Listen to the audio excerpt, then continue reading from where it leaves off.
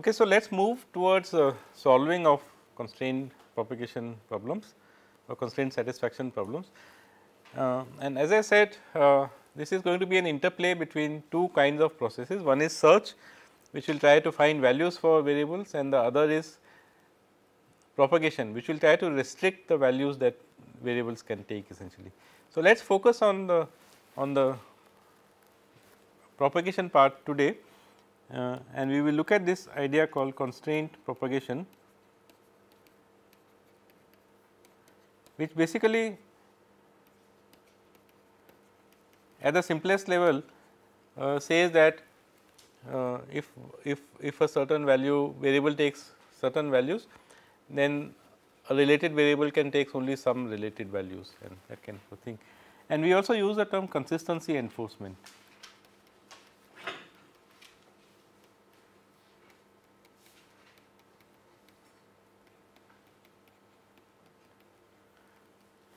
So, for this you need to revise the notion of consistency and we had said that a partial solution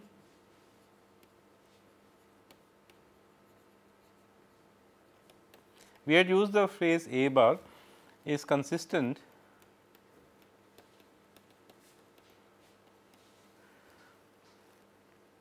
if it satisfies all the constraints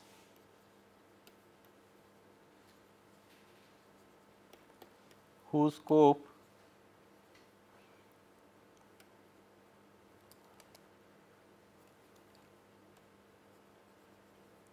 is covered essentially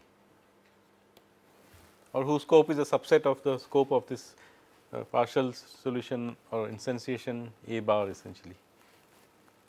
So, if you remember we had tried to draw a small diagram where we said that if we have x 1, x 2, x 3, x 3, x 4, x 5 and so on. Let us say x n. And we have a partial solution let us say 2 1 3 6. So, we have given values to x 1 x 2 x 3 and x 4 and then if there is any constraint whose scope for example lies within that or it could be this this and this then if the if that tuple for example x 1 and x 3 uh, satisfy constraint C 1 and if x 2 x 3 and x 4 satisfy constraint C 2 which means uh, for C 1 2 comma 3 must be a subset of the relation uh, C 1 and 1 comma 3 comma 6 must be a subset of the relation C 2 which is associated with C 2. Then we say that this that this partial solution is consistent essentially. Hmm? The idea of constraint propagation is that to allow a partial solution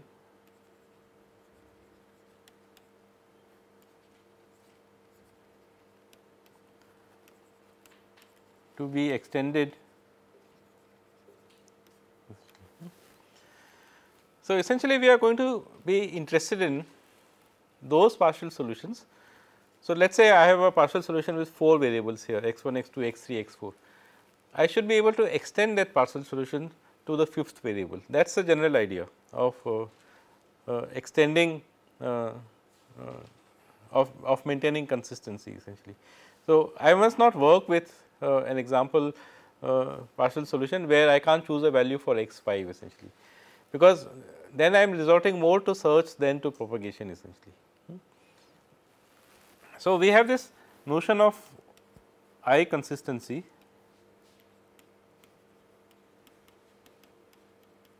different levels of consistency essentially.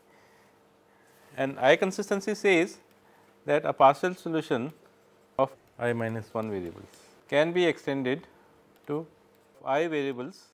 Now, this is a this is a more general statement than it looks like from the example that I have written on the right. In the in the example on the right, I have written I have kind of assumed that the order in which you extend the solution is uh, x 1, x 2, x 3, x 4, x 5, x 6. Now, in practice we do not have that constraint, we do not have that restriction. Nobody is saying that after finding values for x 1, x 2, x 3 and x 4, it is x 5 that you must find the value for. But typically of course, algorithms will work in a deterministic manner. So, we will end up doing like that, but the notion of I consistency is more general than that. So, in practice of course, our algorithms will be more more restricted and therefore, we will uh, uh, assume that we are extending them in a predetermined order essentially.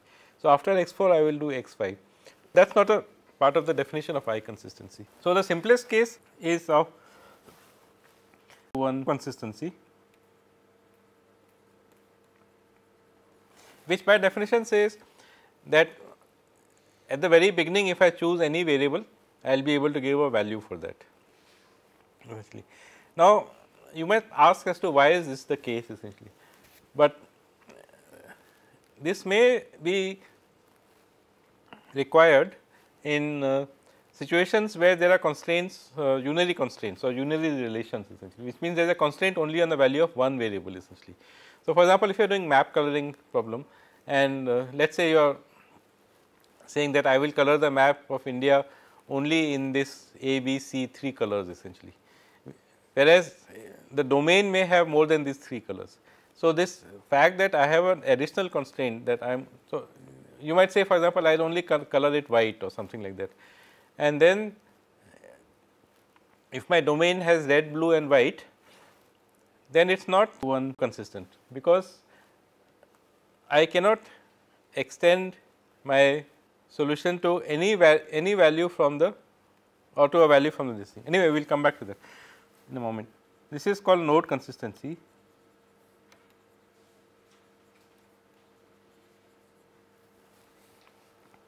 And, and implementing node consistency essentially says that you prune values which do not satisfy some constraint essentially. So, for example, if some color is disallowed, you remove it from the domain of that value essentially. Anyway, so that is a very simple kind of a thing. What is more interesting is to consistency and that is what we are going to look at today. It is also called arc consistency.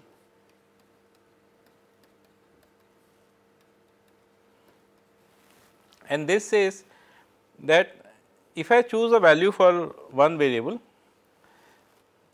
then I should be able to choose a value for the second variable, a second variable, which means any second variable essentially. And we say that uh, if that is the case, then we say that the network is arc consistent. So, let us look at some uh, so, why are we interested in this? Because if we are allowed to choose only, if we have enforced to consistency on a network and we will see today how to do that, then it means that you give a value for the first variable and you are sure that you will be able to give a value for the second variable, you do not have to backtrack at that stage essentially. And then of course, you have 1, then 2, then 3 and so on higher and higher orders of consistency. So, 5 consistency means that 4 variables can be extended to 5 variables essentially. And I consistency or n consistency would mean that if you have a partial solution of n minus 1 variables, you will always find a value for the nth variable essentially. And you can see that the higher the level of consistency, the less the amount of backtracking you will have to do, because essentially consistency is saying that you will be able to find a value for the next variable essentially. Hmm. So, let us look at arc consistency in a little bit more detail.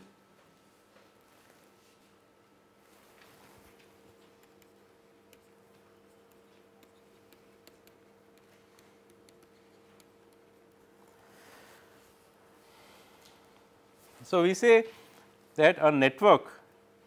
So, let us begin with a variable first. We say that a relation or an edge R R is a relation R x y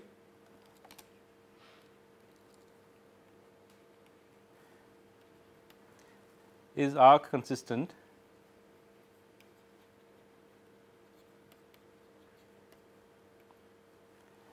if x is where x is x is a variable.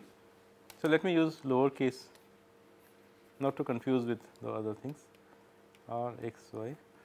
if variable x is so we will use the short form AC here. So, a, a variable x is AC with respect to variable y and vice versa.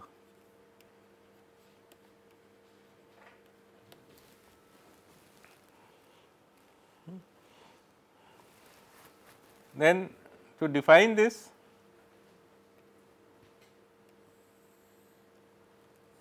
we say that for every value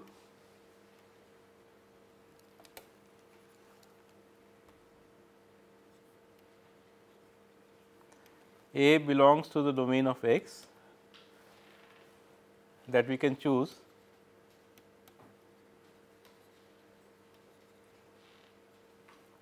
basically you can choose any value from a domain, but I, so that is kind of a redundant statement I am making here, but the, that we can choose is from the algorithm point of view.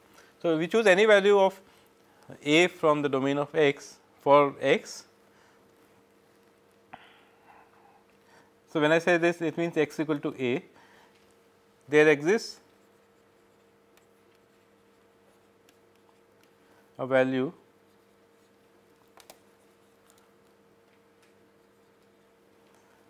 b which belongs to the domain of y such that the pair a comma b belongs to R x y. So, if this is the case then we say that a variable x is arc consistent with respect to a variable y essentially. If y is also arc consistent with respect to x then we say that the relation R x y is, is uh, arc consistent and then finally, we say that a network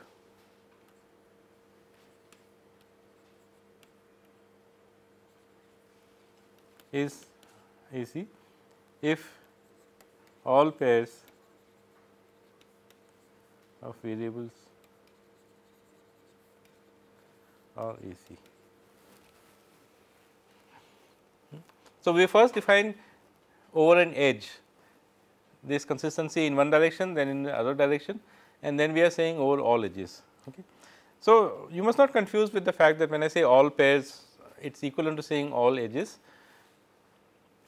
because if you are talking as you remember if you are talking about a binary constraint network if you do not have an edge between two uh, variables or two nodes it basically signifies the universal relation essentially and when it is a universal relation then of course you can choose any value from one and any value from another essentially.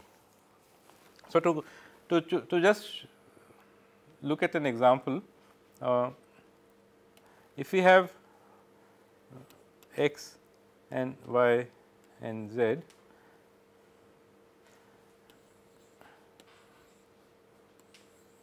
and you have a value here and you have a value there. And you have a value here and you have another value here. And you have a value here which is does not have a value in y, then you can see that in this example at this stage x is arc consistent with respect x is sorry x is not arc consistent with respect to y because there is a value the third dot which I let me color it here. The colored element does not have a corresponding value in y and but y is arc consistent with respect to x essentially. So, that is the definition part of it and uh, if we think of uh, z as a universal relation that means implicitly everything is related to everything else.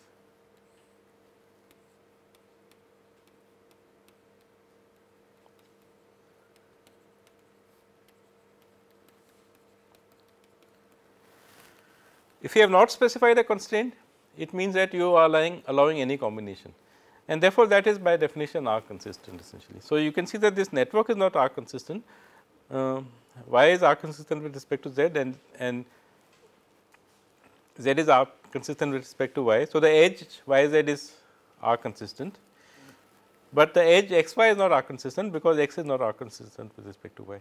And basically consistency enforcement will involve removing values from domains of variables so that it becomes arc consistent, which basically means that if these three values were called A, B and C, then a search algorithm should not start with value x equal to C, because then it will not find a consistent value in y essentially. So, we want to avoid that kind of dead end in search and that is the whole idea of, of, of doing arc consistency. So, how do we go around doing this? Uh, we we start by making a variable arc consistent and that is done by an algorithm which traditionally everybody calls as revise and one way of saying this is that you are revising x with respect to y. So, just the way you are defining this function or uh, or module or subprogram or whatever you want to call it. And but I prefer to use this notation dx dy or xy essentially. Essentially in both the cases it is just a different notation you are trying to prune the domain of variable x which is indicated here with within brackets and that is a the first notation is used in Rina Dechter's book the second not notation is used in my book, but essentially the algorithms are still the same essentially. So, what this revise and that is the core of this algorithm for doing arc consistency which is called AC1 we will see shortly. The core of that algorithm is this module called revise and what revise does is that it prunes the domain of x so that it has only consistent values with respect to y. So, as you can imagine this is a simple algorithm and we can uh, write is as follows. So, for each a i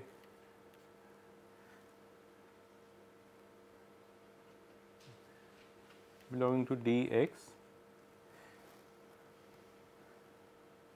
or I can just say for each a belonging to d x if there is no So, I am just writing it in Dechter style in a high level V belonging to dy such that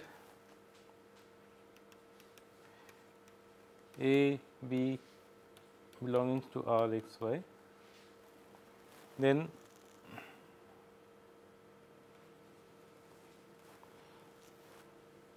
delete A from dx. It is a very simple algorithm.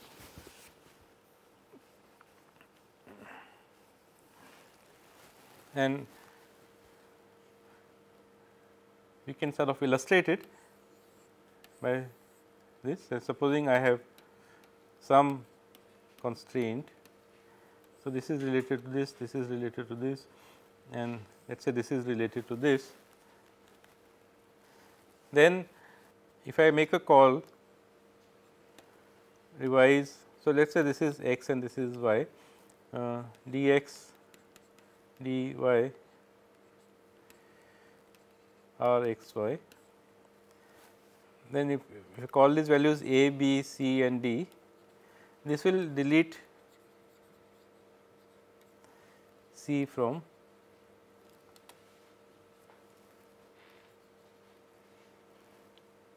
dx.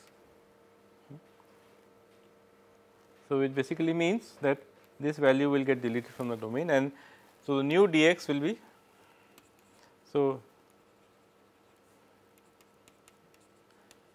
a, b and d only.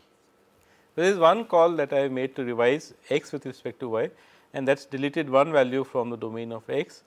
Likewise, if I call revise y with respect to x then it will delete 3 values as, as you can see from there. So, let us call them 1, 2, 3, 4, 5 so, revise uh, y with respect to x will delete the values 2, 4 and 5 from here essentially and then the edge x y will become arc consistent essentially. So, what is the complexity?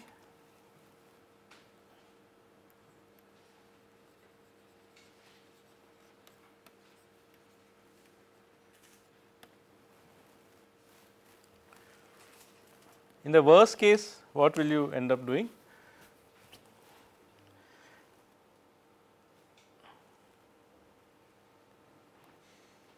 So, for checking that there is no this thing you may have to look at k values in the domain. Supposing in the worst case what is the situation uh, x has k values and y has k values. So, whenever we are doing complexity analysis we will assume that every node has k every variable has k values. In the worst case x has k values and y has k values and let us say the, the it is an empty relation which means there are no consistent pairs allowed essentially that is the worst case situation. So, what will you do? You look at the first value for x, then you will look at all the k values for y and then you will remove that value for x. Then you will look at the second value for x, look at all the k values for y and remove that value. So, in the worst case you will look at k square entries. So, the complexity of revise is order k square. So, this is something we will always use uh, n variables whenever we talk about complexity and k values. So, our complexity will always be in terms of n variables k values. Sometimes we will use the notion count of number of edges in the binary constraint network essentially, but not in this particular example essentially. So, in the worst case it is it is this. In the best case uh, for every value you, you look at you will the first value you look at on the other side will be uh, a related value. So, you will only look at k values uh, for this, but generally we talk about worst case uh, complexity. Another way of expressing this whole algorithm is to say that we are doing this operation that the domain of x gets the following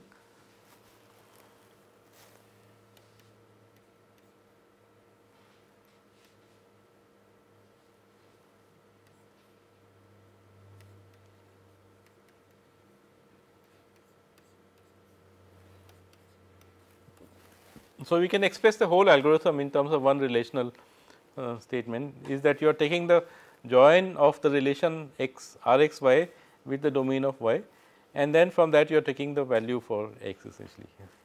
And so, whichever values in the original domain were there uh, only you are keeping only those uh, where the join returns a value the projection and the join returns a value.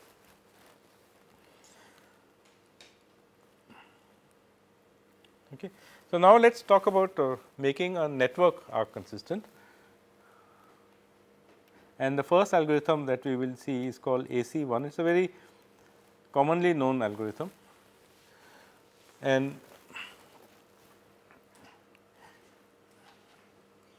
before we do that uh, let us uh, try to work at an example. Uh, this example is uh, very similar to what we have been looking at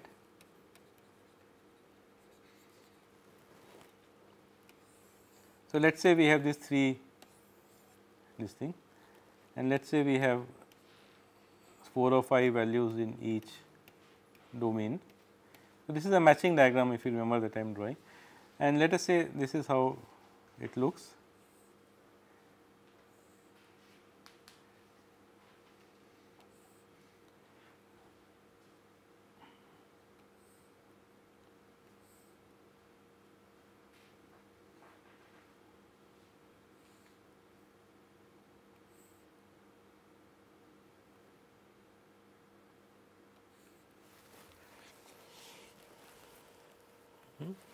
So, let us call these variables x, y and z.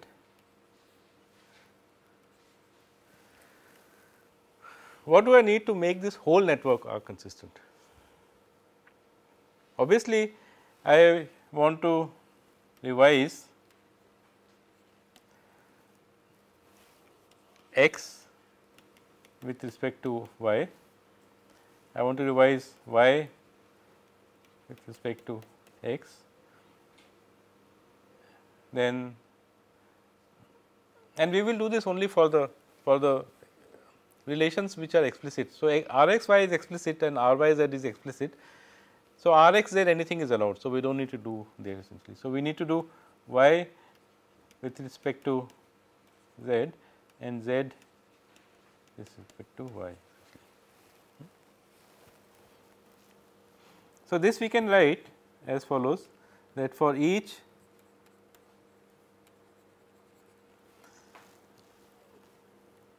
pair x i x j that participates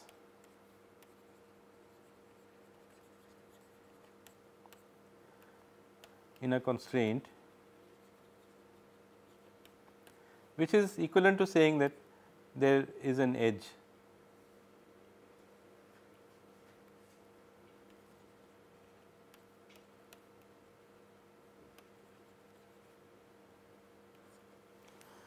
we have to make two calls to revise right.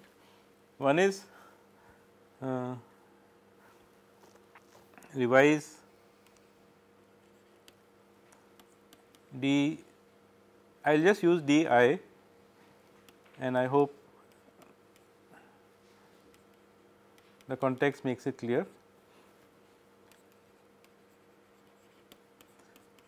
d j we will use the same relation R i j okay because that's that basically contains both ways uh, uh, this thing. So, we will not go into the nitty-gritty of how we represent this relation here. So, essentially we want to make two calls essentially. So, for each pair of variables. So, for x y we will make these two calls and for y z we will make these two calls. Because by definition of this thing we have to first make each variable are consistent with respect to the other variable in both directions and then we have to do it for all possible pairs of variables. So, that is a that is a basic thing that we have to do. The question is I want to ask you is that enough essentially. If I if I do this what have I written on, on the left hand side as an algorithm that for each pair. So, what I have written on the right hand side call x with respect to y, y with respect to x, y with respect to z and z with respect to y. Will I get a network which is arc consistent?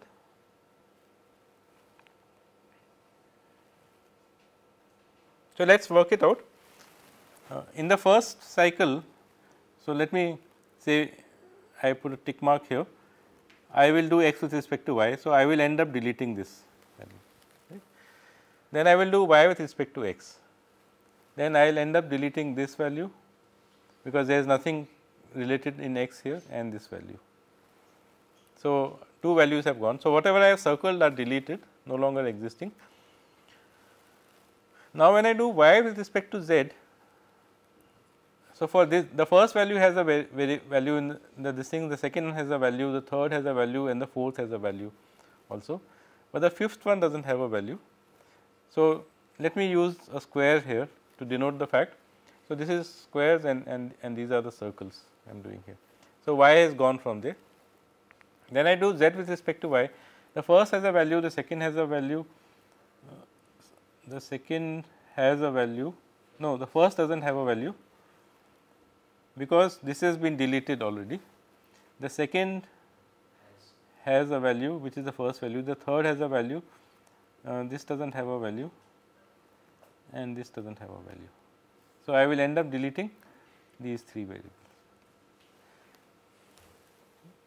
But if I delete these variables then what have I done?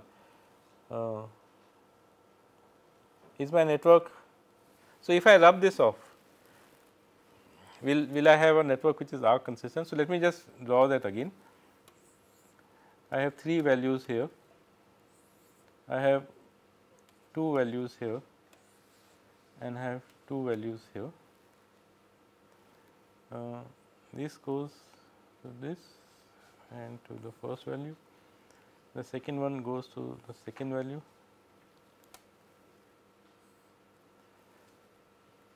and it goes to the second value there and the third one goes to the second value. Okay, so, it turns out that in this case it has become arc consistent. So, I have not chosen a good example, but you can see that, that when we delete some values then you may be actually disrupting the consistency of some other variable essentially. So, maybe in the next class I will I will choose an example where this does not really happen uh, and then we will see that we need to put this in a loop essentially. And the condition for that is till no domain changes any further. So, we will take this up, I will take up another example in the next class and we will just try to see that just one round of revisions is not enough or one round of revise calls enough and we have to make multiple rounds. So, we will make a case for this and then we will talk about efficiency after this. Okay, so we will do that in the next class.